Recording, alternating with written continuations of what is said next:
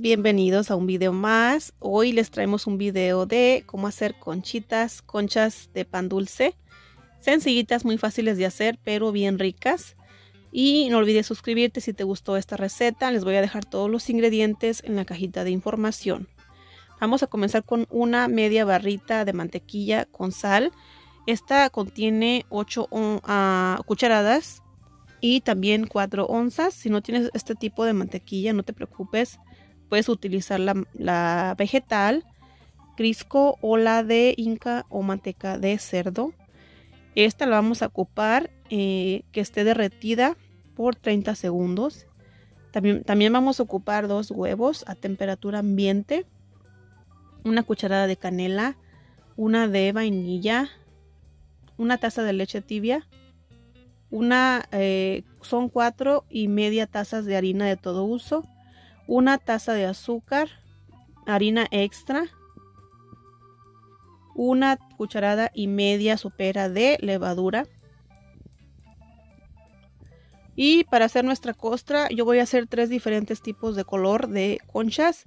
Voy a hacer de chocolate, de estas eh, con food coloring, que son como color rosita. Y también de las que son más color blanco. Aquí voy a utilizar una taza de azúcar glass o de azúcar normal, una media barrita de mantequilla, también una taza de harina y este chocolate que ves aquí es como tipo de chocolate para hacer eh, con leche. Yo voy a ocupar una cucharadita de ese. Y pues eso sería todo para hacer nuestra pasta. Y continuamos aquí ya con lo que es ah, combinar la harina con el azúcar. Mezclar bien todo junto. Y también vamos a empezar a agregar la canela. Si a ti no te gusta la canela y la vainilla, no le agregues. Esto es solamente para darle sabor eh, al pan. Y pues también no le vayas a quitar ningún ingrediente porque si le quitas la leche y los huevos no te va a quedar la receta. Tiene que hacerse exactamente como yo te la estoy diciendo. Hice otra receta de pan ranchero y la gente me está preguntando que si la pueden hacer sin huevos, que sin leche. La respuesta es no, no se puede. No sale igual. Y aquí un tip mío, yo prendo el horno de la estufa a 350 grados Fahrenheit para que cuando ya acabe de amasar la masa y la levadura yo las pongo arriba de aquí, de la estufa, y así eh, doblan su tamaño la masa. Y la levadura también esponja mucho más rápido. Así que si tú quieres hacerlo como yo, eso ayuda a que, como te digo, tu pan salga más, más esponjoso, esponjosito. Y pues es un dato que te paso. Y aquí vamos a continuación a calentar nuestra, más bien tibiar nada más la leche. La queremos un poco tibia, no caliente, a 30 segundos. Y ya estuvo, mira. Ahora vamos a agregarle la levadura, una cucharada sopera y media. También una cucharada de azúcar.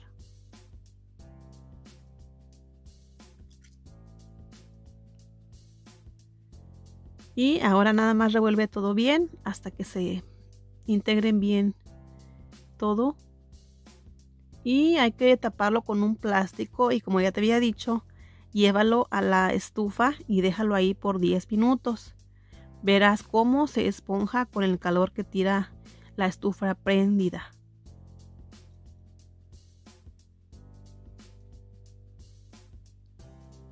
Y ahora vamos a, ir a, hacer nuestra, poner nuestra mantequilla que se derrita al microondas por 30 segundos.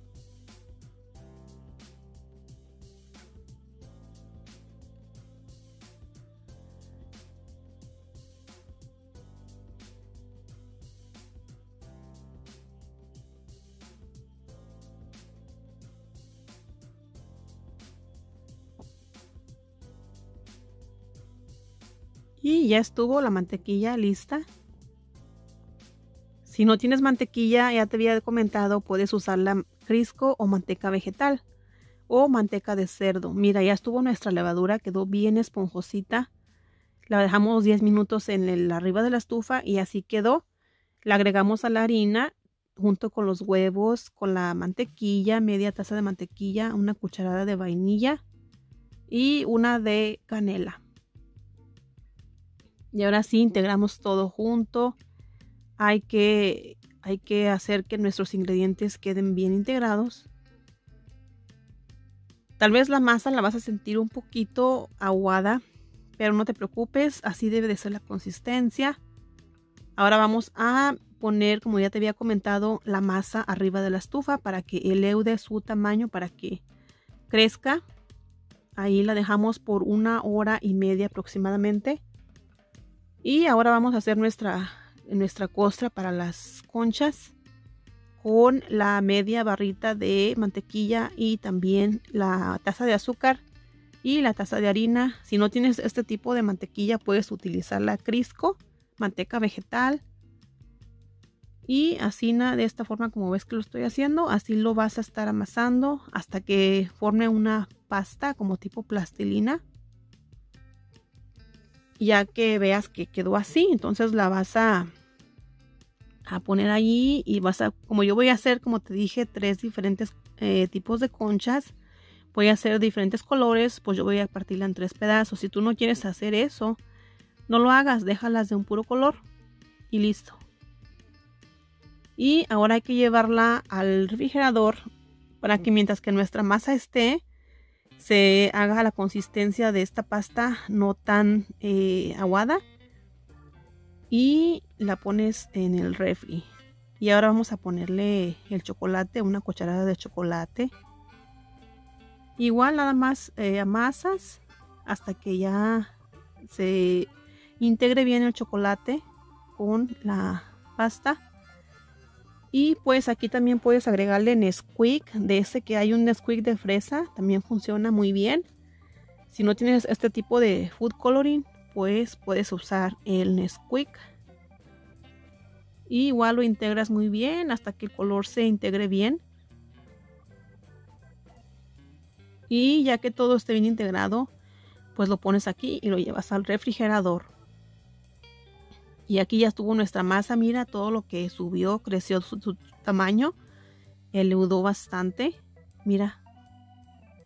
Y ahora sí es momento de amasarla, la vas a sentir un poquito pegajosa, pero no te preocupes, es normal. No te vayas a alarmar, no la vayas a querer tirar a decir que no te funcionó, esto es normal. Nada más agrégale más masa, en, más harina en polvo, perdón. Agrégale harina y tú sigues amasando y ves sintiendo tu masa hasta que ya la sientas que está bien y ya nada más tú misma vas a ir sintiendo la consistencia de la masa con que ya no se te pegue en tus manos. Eso es una señal de que ya está la masa lista.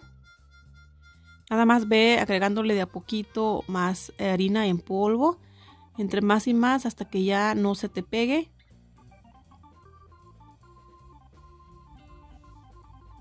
Y aquí ya está lista la masa. Ahora nada más haz unas pequeñas bolitas y lo vas a ir poniendo en las charolas. A mí me salieron aproximadamente 14. Ya que termines de hacer todas tus bolitas, la vas a poner arriba de la estufa. La charola lo vas a poner ahí. Ya nuestra eh, estufa estaba prendida. Entonces el mismo calor va a hacer que se esponje más, que doble el tamaño eh, lo que son nuestras conchitas. Y mira, así quedaron ya, eh, pasaron una hora que yo los dejé arriba de la estufa. Y pues aquí ya para meterlas al horno a que se hagan, ya nada más hay que hacer las eh, costras de las conchitas. Yo lo estoy haciendo de esta manera en esta tortillera. Si tú no tienes una tortillera así, pues lo puedes hacer con un bolillo o también con tu mano. Salieron aproximadamente 14 conchas. Y mira, aquí te voy a enseñar eh, cómo lo puedes hacer con la mano si no tienes una tortillera como esta.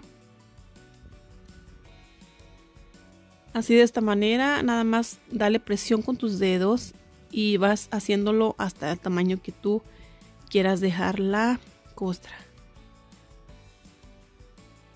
Y así de fácil, mira, y pues ahora es momento de ya meterlas a hornear a 370 grados Fahrenheit por 20 minutos. Aquí ya nada más darle unos, eh, así como ves que lo estoy haciendo. Y córtalo así con este cortador de pizza. Hazle unas rayas, unas líneas, unas cortadas. No muy profunda porque a la hora de que lo vas a hornear, si lo cortas mucho se puede abrir. Así que mejor no lo hagas tan profundo. Y si no tienes igual un cortador de pizza, puedes utilizar un cuchillo así como ves que lo estoy haciendo.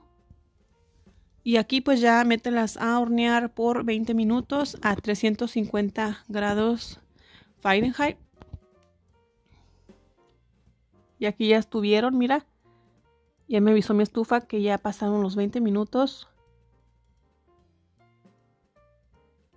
Y pues eh, lucen muy bonitas. Eh, espero que también estén buenas.